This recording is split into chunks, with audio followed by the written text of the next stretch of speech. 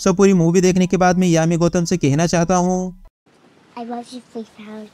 I love you 3000. यार मतलब दिल किडनी गुर्दे सब कुछ जीत लिए हो आप। बाकी आर्टिकल 370 मूवी के ऊपर विस्तार में चलकर बात करें, उससे पहले आपको यह पता होना चाहिए कि आर्टिकल 370 या अनुच्छेद 370 था क्या? So article 370 Jammu and Kashmir को स्पेशल स्टेटस एंड पावर्स देता था कि वहाँ का प्राइम मिनिस्टर इंडिया के प्राइम मिनिस्टर से अलग हो। वहाँ के कानून भारत के कानून से अलग थे। वहाँ की सिटीजनशिप भारत की सिटीजनशिप से अलग थी। वहाँ का फ्लैग इंडियन फ्लैग से अलग था। सब कुछ इंडियन कॉन्स्टिट्यूशन से अलग था। मतलब एक ही देश में दो प्राइम मिनिस्टर दो अलग अलग लॉज चलते थे। भारत के लोगों के पास कोई अधिकार नहीं था जम्मू एंड कश्मीर का सिटीजन कहलाने का। न ही भारत के किसी स्टेट में रहने वाले लोग जम्मू एंड कश्मीर में कोई प्रॉपर्टी ले सकते थे। और वहाँ की माइनॉरिटीज हिंदू एंड सिख के रिजर्वेशन की बात तो छोड़ ही दो। तो शायद आप समझ ही सकते हो कि आर्टिकल 370 की वजह से कश्मीर देश का सबसे बड़ा कंट्रोवर्शियल पार्ट क्यों और कैसे बना था? और इसी आर्टिकल की वजह से कश्मीर पाकिस्तान ऑक्यूपाइड कैसे हो गया था? और भारत का एक अहम और महत्वपूर्ण हिस्सा होने के बाद भी वह भारत का हिस्सा नहीं। इनफेक्ट दूसरे पड़ोसी देश आकर उसे अपना क्लेम कर रहे हैं। फिर आर्टिकल 370 क्या है?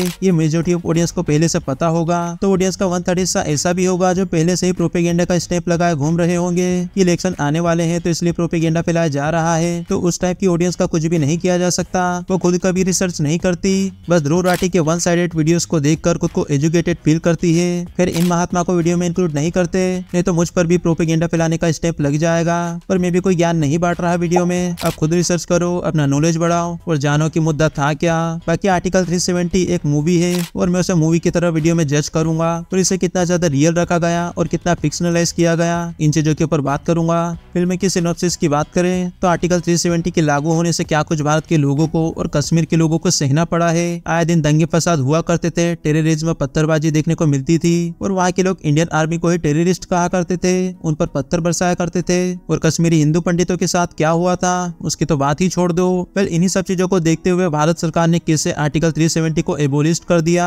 यह मूवी उसी रिमूवल के प्रोसीजर को प्रेजेंट करती है। कितना मुश्किल भी क्यों था आर्टिकल 370 को रिमूव करना।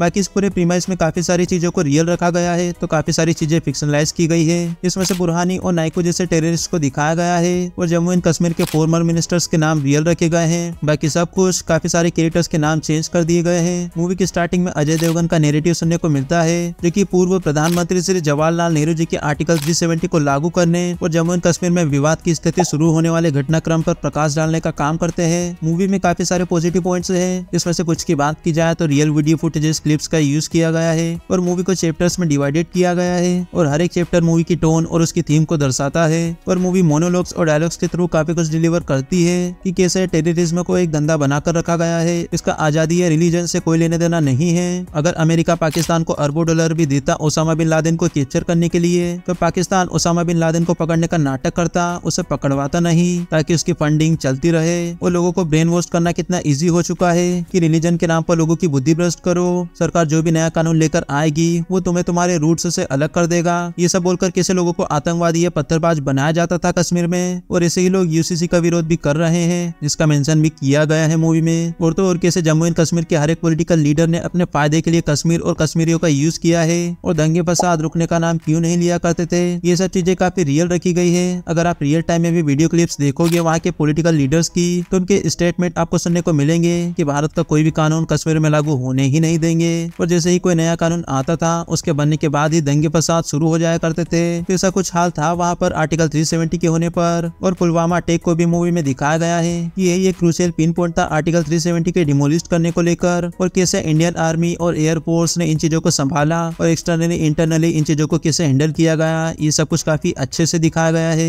मूवी के फ़र्स्ट हाफ़ में यामी गौतम के कैरेक्टर के ऊपर फोकस किया जाता है। इसका नाम होता है जोनी हक्सर। वो भी कश्मीरी हिंदू पंडित और एक इंटेलिजेंस ऑफिसर रहती है, जो कि आगे चलकर एनआईए ज्वाइन करती है और पीएमओ की तरफ़ से पावर मिलने के बाद उस पावर का यूज़ देश और कश्मीर के भले के लिए करती है। इसके कुछ मिशंस को थ्रिलिंग एक्शंस के साथ दिखाया जाता है फ़र्स्ट हाफ़ में। देन सेकंड हाफ़ से मूवी पूरी तरह से आर्टिकल 370 के रिमूवल प्रोसीजर को दिखाती है। पूरी मूवी में बस स्टोरी एक्शन और ड्रामा है। इसमें कोई फालतू के आइटम सॉन्ग या रोमांटिक सॉन्ग नहीं है। एक्शन सीक्वेंस के तुरंत बाद उसके कॉन्सिक्वेंसेस दिखाए जाते जाते हैं। मूवी में काफ़ी एंटी इंडियन पोलिटिशियंस को भी दिखाया है। तो वहीं पर एंटी इंडियन मीडिया को भी दिखाया है कि उनके इंटेंशन ही इविल है, क्योंकि थोड़ा सा स्टीरियो है और रियल भी, क्योंकि रियल टाइम में भी काफ़ी सारे जर्नलिस्ट और मीडिया सोर्सेस हैं। जिनकी न्यूज़ हमेशा देश के खिलाफ ही रहती है। अब कास्ट एंड कैरेक्टर्स की बात करें तो यामी गौतम के लिए वीडियो के स्टार्टिंग में ही बोल चुका हूँ। बंदे को जहाँ पर इमोशन दिखाना चाहिए, वहाँ पर वह इमोशंस ऑडियंस को फील करवा देती है।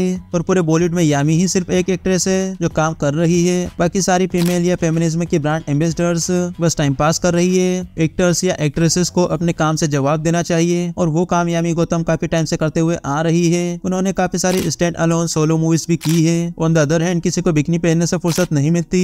और दूसरी मूवी में बेचारी को बिकनी पहनाकर बीच पे चलने के लिए बोल दिया जाता है। खैर, मुझे इस चीज़ से प्रॉब्लम नहीं होनी चाहिए। बाकी प्रियमणि की बात की जाए तो पीएमओ ऑफिसर राजेश्वरी जी का रोल किया है इन्होंने। और इस रोल का काफ़ी इम्पोर्टेंस है मूवी में कि कैसे उनका कैरेक्टर छोटी छोटी चीज़ों पर भी ध्यान देता है। और ये सब देखकर काफ़ी अच्छा लगा और प्रियमणि जी ने काफ़ी बेहतरीन काम किया है। वही प्राइम मिनिस्टर की बात की जाए तो उनको प्ले किया है अरुण गोविल सर ने, जो की उन पर शूट भी कर रहा था, उनके फेशियल एक्सप्रेशन उनके चलने और बोलने का तरीका, और वहीं पर हर किसी को नमस्ते करने का तरीका काफ़ी रिजेंबल करता है मोदी जी से। बाकी होम मिनिस्टर अमित शाह के कैरेक्टर को जब ट्रेलर में दिखाया गया था तो बिल्कुल ही पेरोडी या मिमिक्री जैसा साउंड कर रहा था, लेकिन मूवी में यह चीज़ काफ़ी अलग देखने को मिलती है, काफ़ी अच्छे से प्ले किया गया है और दिखाया गया है कैरेक्टर को। बस एक सेंट थोड़ा सा गुजराती रखा गया है। बाकी हर एक सपोर्टिंग कैरेक्टर स्टोरी में वेल्यूएट करता है। इसमें से कुछ कैरेक्टर्स के नाम भी आपको याद रहते हैं। मूवी का बैकग्राउंड स्कोर काफ़ी बेस्ट है, जो क्लाइमैक्स के सीक्वेंस को काफ़ी ग्रिपिंग बना देता है। और मूवी का क्लाइमैक्स सच में एपिक है। उसमें जो सत्तर साल की मेहनत को सिर्फ़ सफल होते हुए नहीं दिखाया, बल्कि फील करवा दिया। और मूवी की सिनेमेटोग्राफी भी काफ़ी बढ़िया है। मूवी के प्रोड्यूसर आदित्य धर है, वही उरी वाले डायरेक्टर तो उनका थोड़ा एक्शन सीक्वेंस में टच देखने को मिल जाता है। बाकी स्पीच के पेलर में जो एक्शन दिखाया जा रहा था, वो थ्रिलिंग तो लग रहा था, लेकिन उसे काफ़ी फिक्शनलाइज किया गया है, वो आप इजीली पहचान सकते हो। पर कुछ इसमें तो एनआईए के ऑफिसर को टेररिस्ट से मार खाते हुए दिखा दिया, जो कि मुझे बिल्कुल भी अच्छा नहीं लगा। इतना भी फिक्शनलाइज नहीं करना चाहिए था। सो थोड़ा मिर्च मसाला देखने को मिलता है, जो कि आप इजीली नोटिस कर पाओगे। बाकी टेक्निकल एस्पेक्ट्स को लेकर क्रिएटिवली वेल वेट मूवी है, जो किसी भी एजेंडे या प्रोपेगेंडा को पुश न करते हुए थ्रिलिंग ड्रामा को प्रेजेंट करती है। मूवी में अपोनेंट पार्टी का नाम भी नहीं लिया गया, न ही उनकी किसी काली करतूसों को बढ़ चढ़ कर दिखाया। मूवी बस एक ही मुद्दे के ऊपर फोकस करती है और उसी के अराउंड रिवॉल्व करती रहती है। बाकी वीडियो की समरी देना चाहूँ तो ये मूवी सबके लिए नहीं है, न ही हर तरह की ऑडियंस इस मूवी को देखेगी, पर मुझे ये मूवी काफ़ी अच्छी लगी, जिसे मैं one time must watch recommend करना चाहूँगा ऑडियंस को, और इसे आप फैमिली के साथ भी देख सकते हो, इसमें कोई भी प्रॉब्लमेटिक सीन नहीं है। सो दैट्स इट यह था आज का वीडियो आप में से काफ़ी सारे लोग इस मूवी को पहले से देख चुके हो तो आपकी क्या व्यूज़ है मूवी को लेकर, अपने व्यूज़ कमेंट में ज़रूर लिखना, और वीडियो अच्छा लगे तो वीडियो को लाइक करना, ऐसे और अमेजिंग वीडियोस देखने के लिए चैनल को सब्सक्राइब करना। मिलते हैं फिर किसी एक और न्यू वीडियो के साथ। टिल देन आप चैनल पर विज़िट करके कुछ प्रीवियस वीडियोस को ज़रूर चेकआउट करें।